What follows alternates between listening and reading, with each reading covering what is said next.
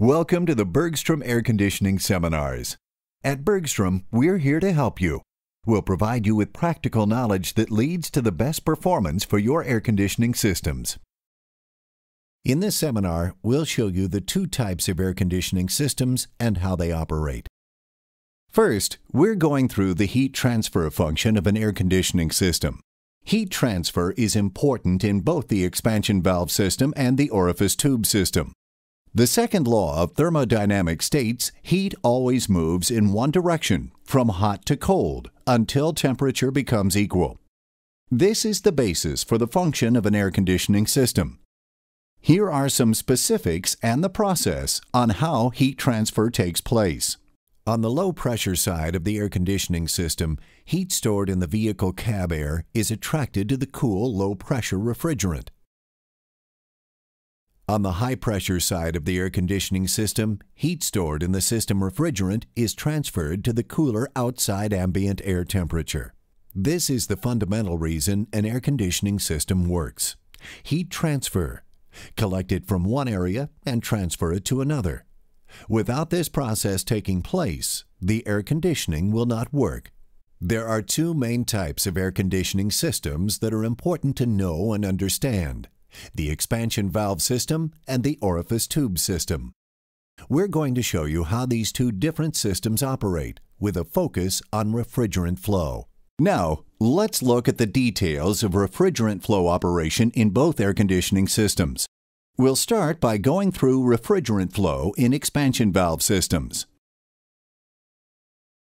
Cool vapor is drawn into the compressor from the evaporator. As it passes through, it is compressed. During the compression process, the refrigerant changes pressure, temperature, and boiling point. The system pressure increases, and as it does, it also increases the temperature and boiling point of the refrigerant. These increases are very important. The refrigerant in the compressor remains a vapor. It's vapor in and vapor out of the compressor. Liquids cannot be compressed, Therefore, you never want liquid refrigerant to enter the compressor. Next, the refrigerant moves from the compressor to the condenser as hot, high-pressure vapor.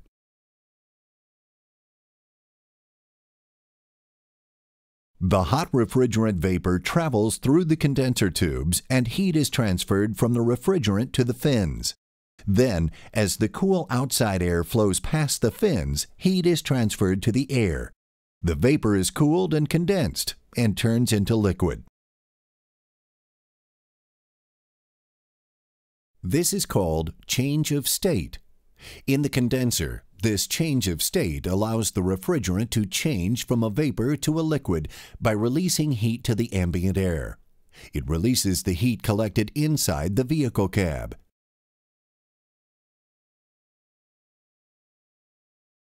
The process of change of state is very important in the air conditioning system because during this process is when heat is collected or released. Next, the refrigerant exits from the outlet port of the condenser as a hot, high-pressure liquid and goes through the high-pressure tube to the inlet port of the receiver dryer. As the refrigerant passes through the receiver dryer, it is filtered, dried, and stored. The refrigerant exits the receiver dryer as a hot, high-pressure liquid. The refrigerant flows from the outlet of the receiver dryer into the inlet of the expansion valve. As the refrigerant passes through the expansion valve, it changes from a hot, high-pressure liquid to cold, low-pressure liquid. The reduction in temperature of the refrigerant as it passes through the expansion valve is the direct result of the system pressure drop caused by the restriction of refrigerant flow. The lower pressure also reduces the boiling point and temperature of the refrigerant. The result is the refrigerant exits the expansion valve as a cool low-pressure liquid with a low boiling point. Next, the refrigerant enters the evaporator as it flows through the evaporator, it changes from a cool low-pressure liquid to a cool low-pressure vapor. This is called change of state. In the evaporator change of state, the refrigerant boils to a vapor, capturing heat from the vehicle cab ambient air. The reason the refrigerant boils in the evaporator is because it is under low pressure. The low pressure allows the refrigerant to boil at a low temperature. Change of state in the evaporator is also very important in the air conditioning system because during this process, heat is collected from the air inside the vehicle cab. For systems with block-type expansion valves, the refrigerant exits from the outlet port of the evaporator as a cool low-pressure vapor refrigerant. It then re-enters the expansion valve as a cool low-pressure vapor. It passes unrestricted through the outlet of the expansion valve as a cool low-pressure vapor. It is then drawn back to the compressor through the hose as a cool low-pressure vapor. That's how refrigerant flows through expansion valve air conditioning systems. Now, let's take a look at refrigerant flow in orifice tube air conditioning systems. With orifice tube systems, the refrigerant flows through the compressor the same as the expansion valve system.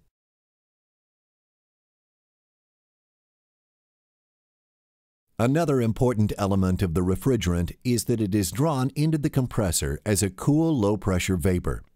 As it flows through the compressor, the refrigerant is compressed, increasing high side system pressure.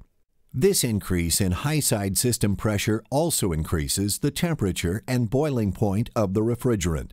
The refrigerant exits from the discharge port of the compressor as a hot high pressure vapor refrigerant through the high pressure hose to the inlet port of the condenser. As it enters and flows through the condenser, it changes from a hot high pressure vapor to a hot high pressure liquid. This change of state allows the refrigerant to condense from a vapor to liquid, releasing heat energy to the ambient air.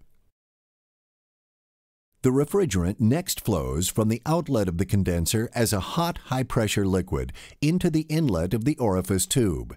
As the refrigerant passes through the orifice tube, it changes from a hot high-pressure liquid to cold low-pressure liquid. The reduction in temperature of the refrigerant as it passes through the orifice tube is the direct result of the system pressure drop caused by the restriction of refrigerant flow. The lower pressure also reduces the boiling point of the refrigerant. The result? The refrigerant exits the orifice tube as a cool low-pressure liquid with a low boiling point. Next, the refrigerant enters the evaporator as a cool low-pressure liquid. As it flows through the evaporator, it changes from a cool low-pressure liquid to a cool low-pressure vapor.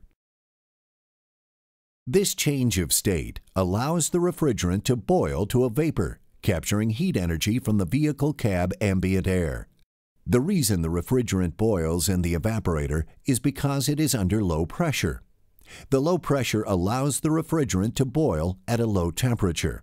The refrigerant then exits from the outlet port of the evaporator as a cool low pressure vapor and enters the accumulator as a cool low pressure vapor.